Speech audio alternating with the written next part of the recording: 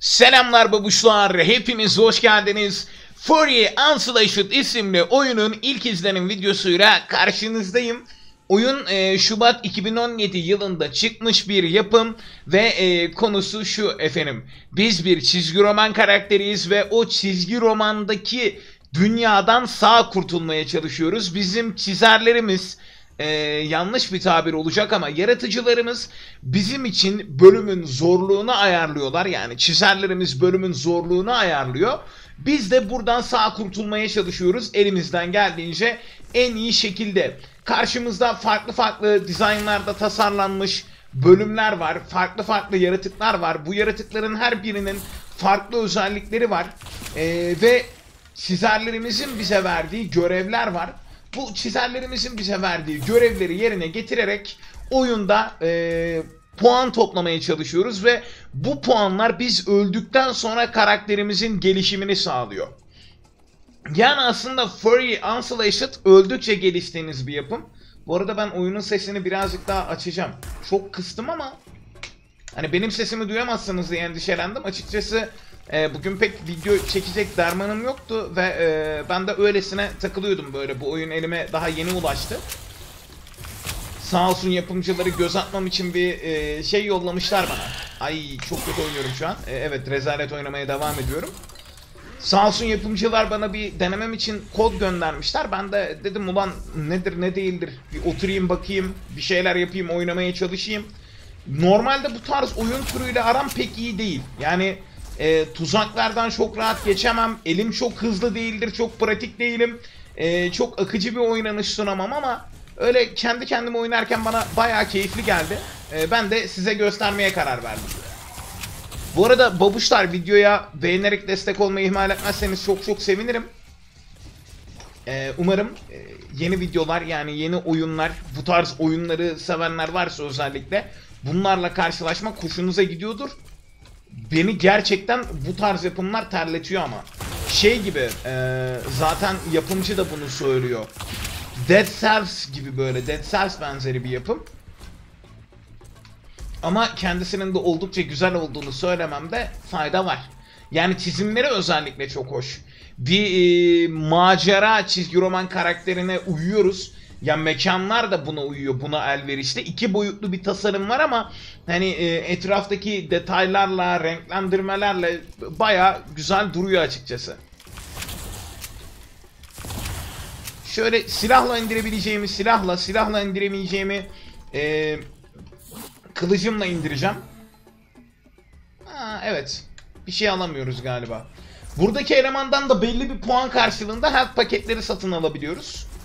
Ama e, şu an o bahsetmiş olduğum belirli bir puanı karşılayabilmiş değiliz. Oo. Ben saldırısından kaçabiliriz zannediyordum. Elemanın saldırısından o kadar da kolay kaçılmıyor anladığım kadarıyla. Bu arada oyunun sesi size benim duyduğum gibi geliyorsa gerçekten sıkıntı. Çünkü ben zar zor duyuyorum. Kulaklıkta mı sesi fazla kıstım acaba? Size ne kadar geliyor ki? Size de size de az geliyor herhalde ya. Ama neyse ben şimdi ayarlarıyla oynamayayım da. Sonra tutturması zor oluyor biliyor musun? Böyle unutuyorum. Ondan sonra bütün videolarda oyunun sesi benim sesimi bastırır. Bak bu da bizim e, çizerlerimizden biri bize belli başlı görevler veriyor. Örneğin şu an 7 saniye içerisinde buraya, 2 saniye içerisinde buraya, e, bir 2 saniye içerisinde de buraya ulaşma görevi verdi. Sıradaki görevde saniyeler içerisinde diğer tarafa ulaşma. Kardeş sen biraz abartıyorsun mu mevzuyu? Böyle 10 tane noktaya ulaşabilirsek şayet bize belli bir ödül verecek eleman. Daha doğrusu ödül değil, puan verecek. Evet. 500 puan verecek ve bu aldığımız biz 500 puanla öldüğümüz zaman karakterimizi geliştirebileceğiz. Ee, Furry Unslashed'da öyle öyle gelişiyoruz. Aynı dediğim gibi hani Dead Cells örneğini vermiştim. Tıpkı Dead Cells'teki gibi. Ölmemiz gerekiyor gelişebilmemiz için. Ölmeden gelişebilmemiz mümkün değil. Zebura kakası onu iste. Ben o malzemeyi alırım hocam. Ben o baltayı alırım. O balta benim hoşuma gitti. Ya milli kill almak inanılmaz derecede fazla tatmin edici. Ve düşmanın üzerine e, göt üstü çakılarak da kill alabiliyorsunuz. Bu da güzel. Milli kill almak da inanılmaz tatmin ediyor. Normal silah da tatmin ediyor. Gerçekten vuruş hissini sevdiğim bir yapım. Zaten bu tarz oyunlarda e, genellikle en çok önem verilen şey vuruş hissidir. E, oyun şuraya ilerlediğim vakit bitiyor ama ben diğer iki noktayı da açmak istiyorum. Çizgi romandaki diğer noktaları da açmak istiyorum. Bilmiyorum ben genelde oyun oynarken böyle bütün e, bölgeleri açar öyle yeni bölgeye geçerim. Hiçbir şey kaçırmayayım diye.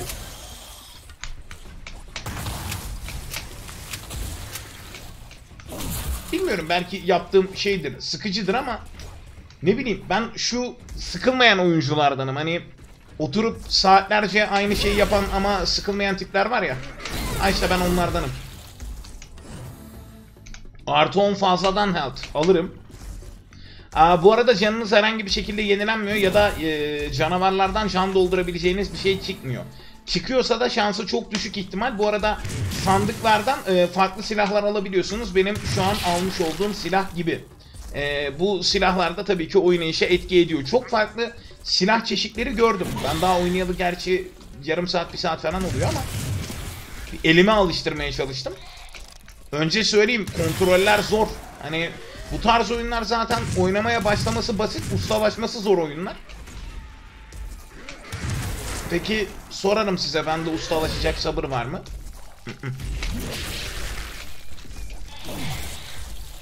ya ben karakter güçlendirme mantığını çok seviyorum tamam mı? Saatlerce aynı yaratığı keserim. O karakterimin güçleneceğini ve gittiğim zaman böyle boss'a tek atacağını bilmek falan bana mutluluk verir ama ee... Evet aşağıdaki böceği unuttum. Bu ne ki? Belli bir süreliğine zamanı falan donduruyor herhalde. Emin değilim. Armor'u da alırım. E, silahları almak ya da satmak gibi seçenekleriniz var. Ben tabii ki hiçbir zaman silah satmayı seçmiyorum. E, bütün her yeri şey yaptığıma göre buradan doğruca görev noktasına ilerleyebilirim. Ha, fast travel olayı var bu arada yani haritada istediğiniz noktaya jart diye ışınlanabiliyorsunuz. Ama ben tabii ki ışınlanma hakkımı kullanmadım. Bir de ben e, bende şu tarz bir durum var. Ya bir oyun oynarım, o oyunda bütün malzemeleri biriktiririm tamam mı? Özellikle MMORPG oyunlarında. Abo yani benim envanteri görmen lazım. 3 ay önceki etkinlikten kalma silahlar, zırhlar, işte kullanılabilir atıyorum elmas çantaları, para paketleri, XP arttırıcı paketler falan filan böyle satın alma manasında demiyorum. Öyle oyunlara çok fazla yatırım yapmayı seven biri değilim. Yani online oyunlara fazla para yedirmişimdir zamanında ama elimden geldiğince kontrollü e, harcamaya çalışırım bütçemi. 5 tane düşman kesmemi istiyor milli silahımla. Hallederiz ya 5 tane düşman kesilir. Hiç problem olmaz hatta. Quest failed. Hayda sadece şey mi? 5 tane düşmanı istediğim vakit öldürmeme müsaade etseydin keşke. Neyse. Yani az önceki söylediğim o e, bir ton envanterimde ıtı bıdı biriktirme mantığı şey değil hani pay to win değil böyle parayı verip düdüğü çalıyordum mantığı değil şey böyle hani etkinliklere falan katılır. Çok rezaletim bu arada bomba atmak konusunda ya. Etkinliğe falan katılır. O etkinlikten gelen malzemeleri biriktirirdim. Ee, sonra size olan şeyi söyleyeyim. Malzemelerin hiçbirini kullanmadan hani etkinlikte tonla zaman harcadığım atıyorum 2 saat zaman harcayıp aldığım ve kullanmaya kıyamadığım o ödül e, ben oyunu bıraktığımda hala envanterimde dururdu. Ben birazcık biriktirmeyi seviyorum. Öyle birikiyor bende duruyor. Bilmiyorum biriktirme hoşuma gidiyor.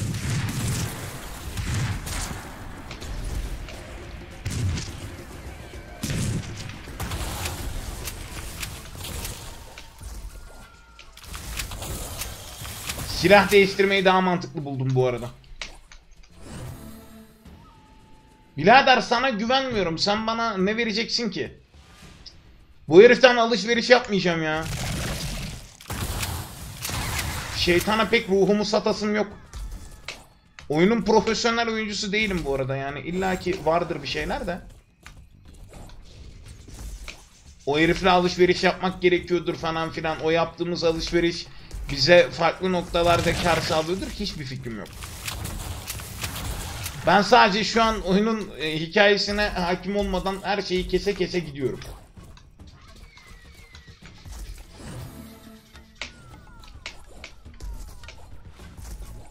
Ama lazer var bizi kısıtlıyor hocam.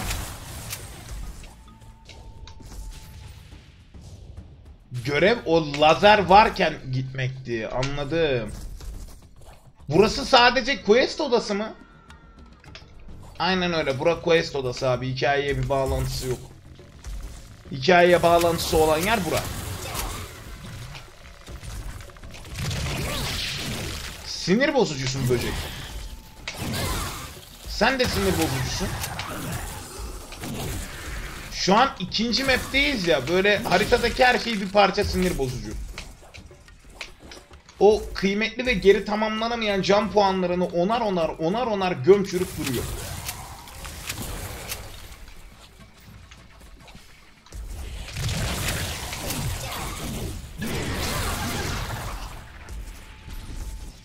Abi canım az kaldı be. İlk boss mu?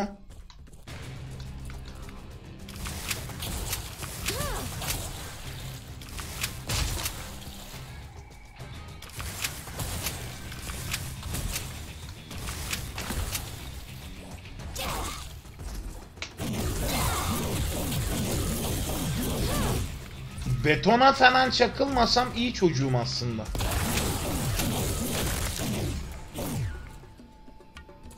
Boss'u kestim de de bakayım nasıl kestim. Hiç anladın mı bir şey? Yok vallahi bir şey anlamadım. Damage'i %40 düşüren bir şeyler verdi. Yere bile yapıştım lan boss'u keseceğim derken. Evet. Bir intihar bombacı böceğimiz eksikti gerçekten. O da oldu tam oldu. Az önce aldığım kıymetli can puanını da hiç e, ne ödüğü belirsiz bir testereye kestirdim. Bana düzenli ve sık aralıklarla ateş eden bir şey var. Ama ne olduğunu bilmiyorum. Neyse. Daha birazdan ölürsem aldığım skill puanlarıyla ben bu karakterin levelini zıplatırım. Ee, bir de Hero'muzun istatistikleri var. İşte aldığı özellikler, isabet puanları falan filan. Bazı istatistiki özellikleri geliştikçe e, daha çok puan kazanıyor. Zaten oyunun esas amacı böyle karakterinizi en fazla puanı yapabilecek şekilde eğitmek. Bakın benimkinin seviyesi 10 muymuş neymiş 16'ya fırlamış. 6 skill puanımız var. E, upgrade hero deyip hero'yu bir upgrade diyelim. Upgradeledikten sonra tekrardan mevzuya dalarız. E, armor duration'ımızı arttırıyor bu. Boss'un e, sanırım öldürdüğümüz zaman ya health, boss öldürdüğümüzde ya health'imizi arttıran bir orb kazanıyoruz ya da başka bir şey var bilmiyorum. O kadar İngilizcem yok. Kritik atma ihtimalimizi arttırıyor her verdiğimizde.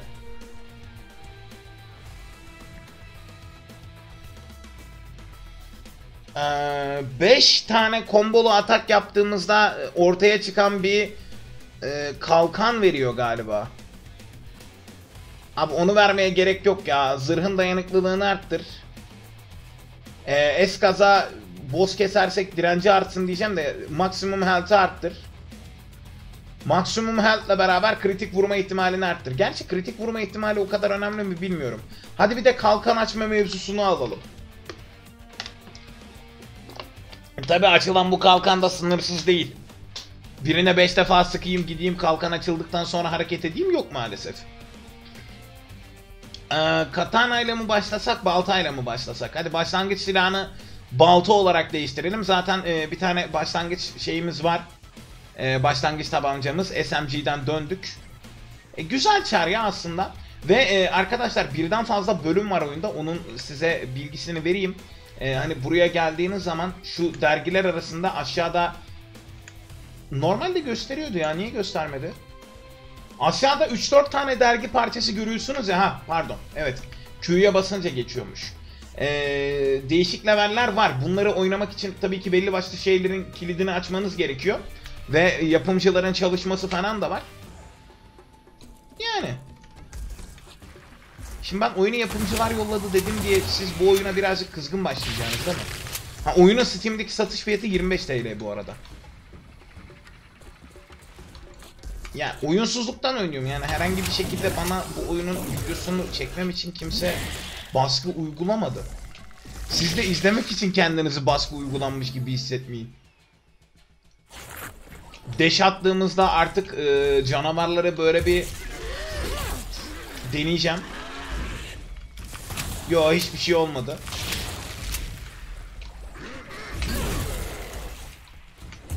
Ve ben daha oyuna yani ilk bölgesinden 14 puan kaybettim bile. Odalara girelim bir tek tek alttaki odalara. Muhtemelen final aşağıdaki odalarda değildir.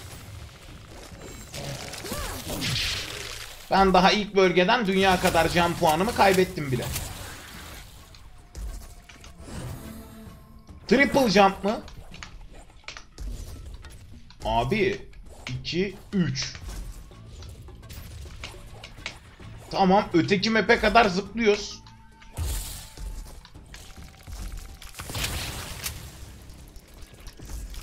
Bunun rahatlığı iyi. Rocket Launcher. Ha Rocket Launcher kötü silah aslında ya. Yani Rocket Launcher'ın neresi kötü? Ee, öyle roket zannettiğiniz kadar fazla vurmuyor. Zannettiğiniz kadar fazla vursa orası Quest odası abi. Şu an o metanette hissetmiyorum kendimi. Böyle hoplama zıplama görevlerine uygun hissetmiyorum. Ah! Rocket Launcher bu yüzden kötü. Abi 5-10 atışta öldüremeyen roket mi olur?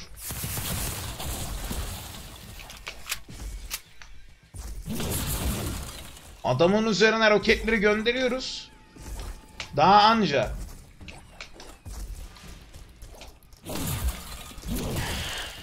Patlayan zombi değil. O yüzden rahatım. Açamıyorum.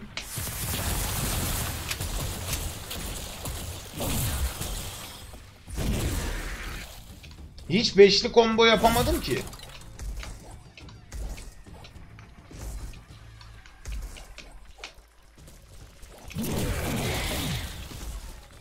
Beşli combo aha yaptım. Hatta combo 7-8 oldu. En azından zırh delici vuruyor. Ee, bu arada eğer bunun görevini yapmayı başarırsak, bunun görevini yapmaktan kastım bu silahla 20 kill alırsak, belki görev benim kafamdan dolayı gözükmüyor olabilir. Ee, bu silahla 20 kill alırsak şayet, e, bu silah da bizim başlangıç silahımız olarak ekleniyor. Ki başlangıç silah olarak sniper isterim. Hem de delici hasar vuruyor. Yani rakibi deliyor ve arkadakine de hasar veriyor. Gayet güzel aslında ya. Rakibi delip arkadakine de hasar vurması. Yukarıda bir oda daha var. O yukarıdaki odaya gideceğim. Bu arada 50 puanım var. Aşağıdaki kasayı açmak için yöneleceğim birazdan.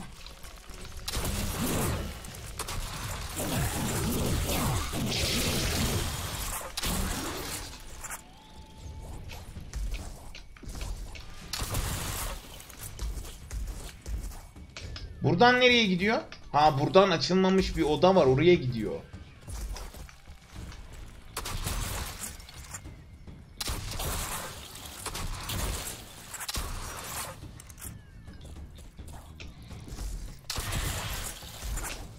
Bu arada zamanında koşup almazsanız o yere düşen puanların her biri özelliğini yitiriyor arkadaşlar. Zamanında gidip almanız lazım ve ben şu aşağıdaki kasayı bir açabilir miyim? Aç bakayım 50 karşılığında ne vereceğim bana. Health'i arttırma. Ee, hoşuma gider. Güzel. Yani 170 canım oldu.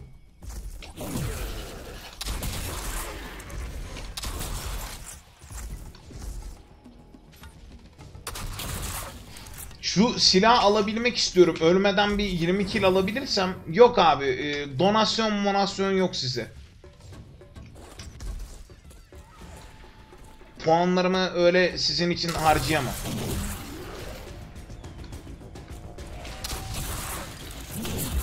Güzel. Bu silah seviyorum ya. Bu silah sevdim daha doğrusu. Merhaba.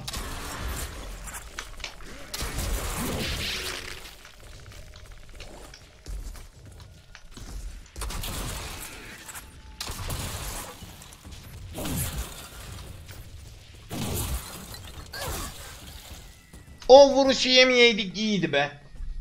O vuruşu yemeyeydik iyiydi. Bu arada e, açılmayan portal dediği girmediğimiz oda şu challenge'da hoplamalı zıplamalı oda. Vallahi hoplamalı zıplamalı odaya girmeyi tercih etmedim. Ne yapam? Ama buradan çıkabilmek için eşek gibi o challenge'ı yapacağım galiba. 20 saniyede buradan defol mu diyor?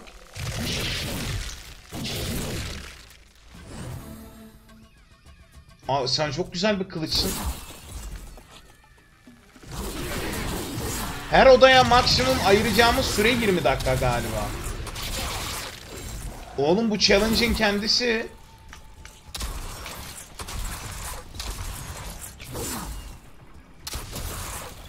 Ben her odayı 20 saniyede nasıl geçeyim ben? Ya da böyle adam öldürmeden durmak yasak gibi bir şey misi bir şey mi acaba? Aynen. Adam kestikçe zaman geliyor. Ben nereden bulayım sana sürekli adamı?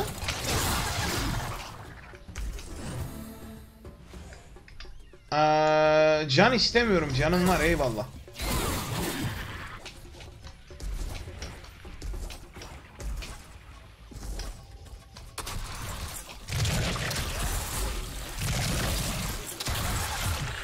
Benim şu silahla bir kill daha alıp silah şey yapmam lazımdı. Ha tamam Ninja'nın kısıtlaması da ortadan kalktı. Sana ne vereyim? 20 can ver, 150 puan ver ya da ödül ver. Ödül ver kanka. Ya bende triple jump var zaten. Sen bana en iyisi puan ver. Ha burada da ayrı bir şey var. 80 puan karşılığında ödül sandığı ver. Çiftel tabanca. E, güzel. Abi çiftel tabanca gayet hoş duruyor. Hadi inelim aşağı göreve devam edelim. A aynı boss kardeş galiba bu.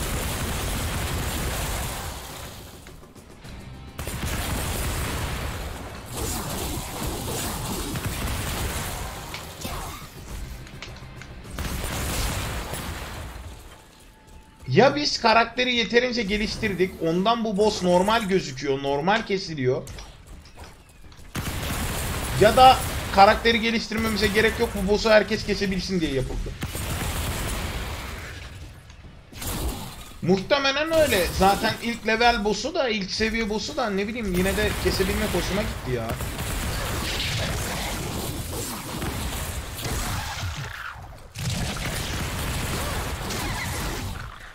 Evet artık pis mekanlara geldik abi.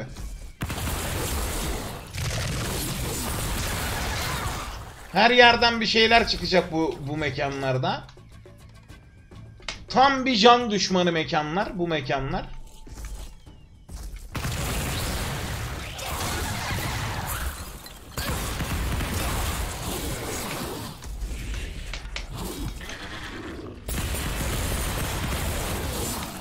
Artık her yer bizim can puanlarımız için büyük tehdit.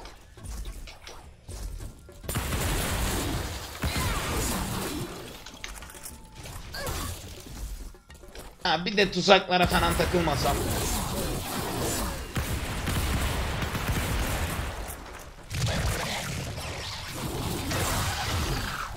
Şu aşağıda da çıkan çiçek sinir bozdu.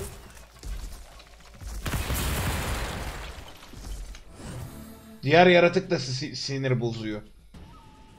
Ee, tamire gerek yok ki. Ya da gerek var mı? Üzerimizdeki zırh değeri ne kadar fazlaysa o kadar az hasar yiyoruz galiba. Ben şu yandaki odanın da yanına bir gideyim. Yandaki odanın da yanı dediğim üstüydü. Abi silah kesinlikle daha iyi bu arada. Taret olur. Ee, bu Taret de ulti yeteneği gibi bir şey. Yani böyle e, odalara giriyorsun misal. Aha da burası.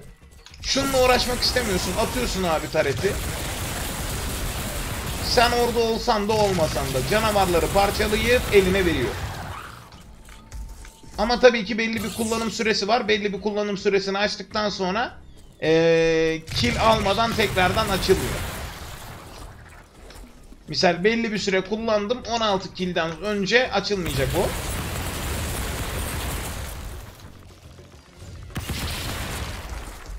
O açıdan biraz sıkıntılı. Ne oluyor? Bizim yazarların kartuşu bitti.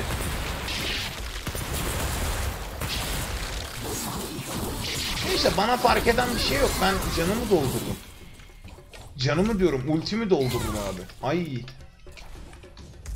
Ulan o kadar damage yemeyeydik iyiydi be.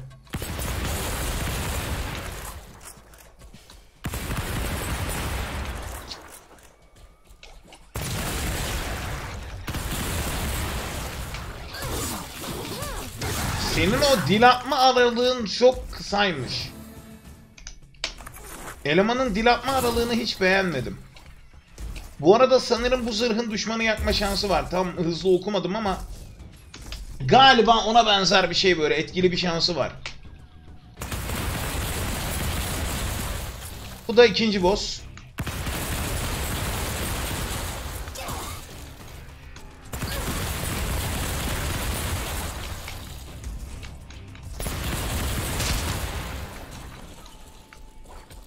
Ben bunu kesemem diye tahmin etmiştim ama. Ney baba? Alien roket launcher. Ha, çifte roket atıyor. Eyvallah. Geçerken de ne güzel çarptık. Bir daha mı boss?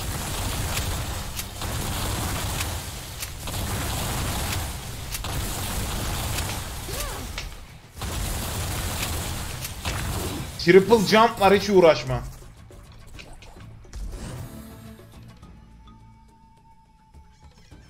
Olur.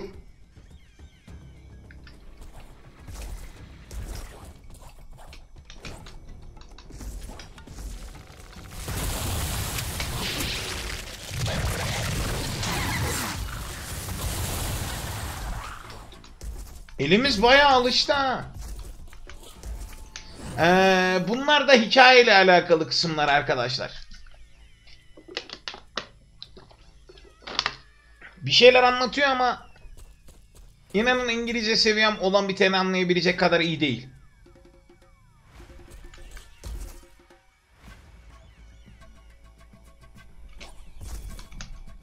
Keşke anlayabilsem de size aktarabilsem. Ama genelde bu tarz oyunlarda hikayeye pek dikkat etmiyorum zaten ya. Benim ağırlıklı olarak dikkat ettiğim şey ratata. Yani ne kadar becerebiliyoruz, ne kadar edebiliyoruz bilmiyorum ama.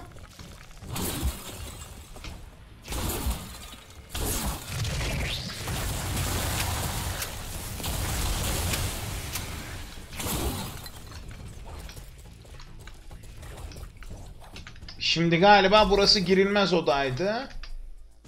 Ee, buradan iki yana kayacağım. Çünkü aşağıda 3 oda var burada.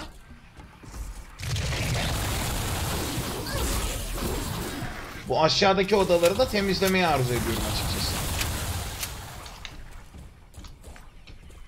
Aslında oyunda yani şarjörünüzdeki mermiyi de bir hesaba katmanız lazım da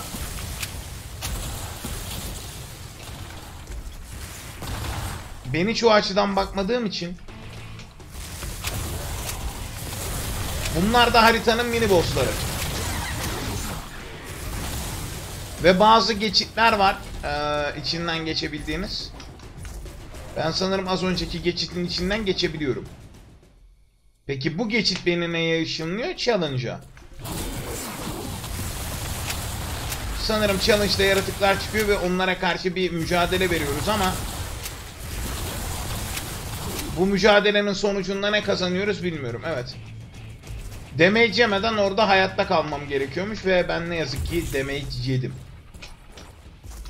Dediğim gibi bu tarz oyunlarda o kadar da iyi değilim. Ya iyi değilim zaten de.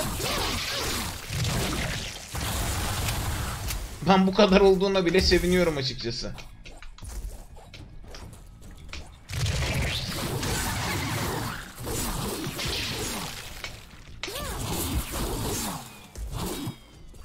Yo yo yo şeytanla anlaşma yapmayacağım hayır.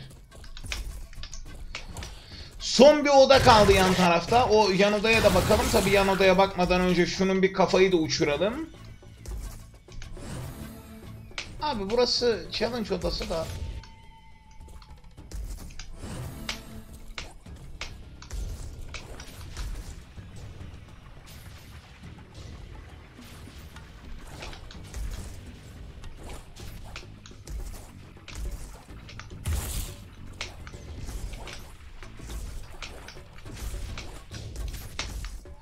Ama yapamazsın ya tam orada. Aman senin questinle mi uğraşacağım? Şuraya bir fast travel atar mısın hocam? Şuraya. Vallahi gidelim yeni bölüme geçelim ya. Hiç uğraşamayacağım vereceğin challenge'da.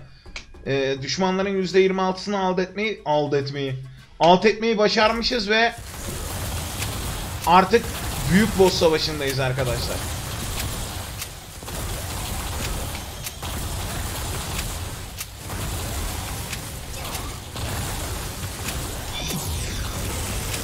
Taret bana yardımcı olsun yukarıdan.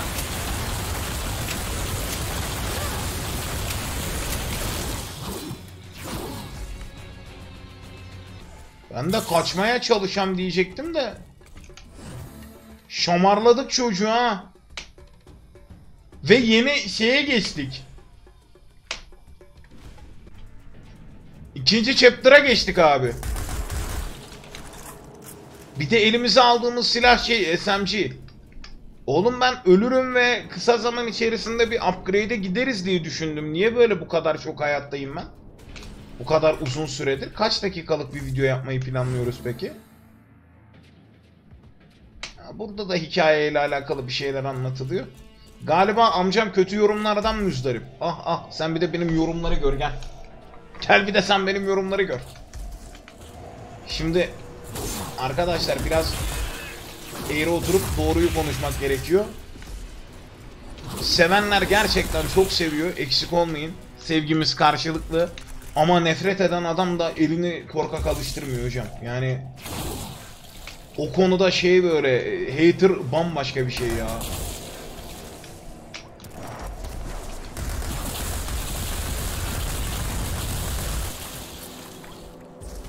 Hater bambaşka bir şey usta. Öyle onlar sen ben gibi insanlar değil. Onların kafa falan bir farklı basıyor. Lan bilerek kılıç çektim lan.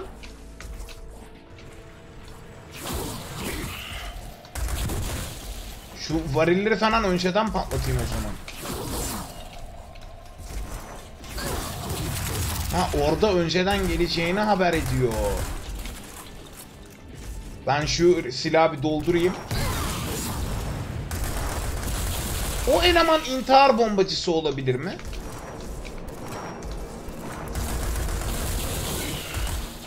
Muhtemelen intihar bombacısı. O da bir mayındı ve ben mayına bastım.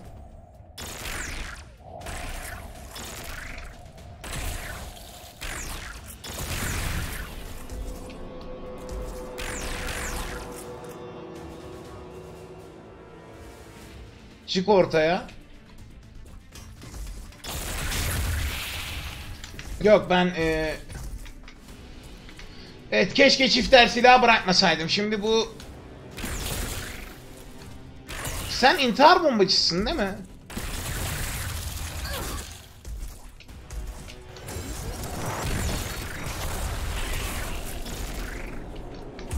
Sağlam damage atıyor gerçi bu silah da.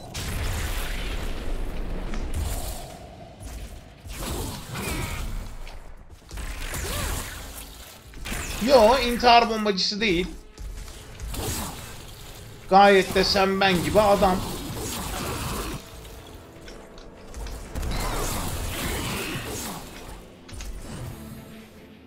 Al.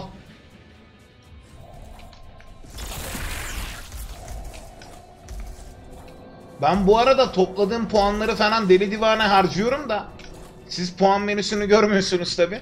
Ben topladığım puanları deli divane harcıyorum da başımıza bir şey gelmese bari. Bu arada bildiğin sniper lan. Abi adamlar güzel çizmişler, güzel yapmışlar. Benim hoşuma gitti şahsen.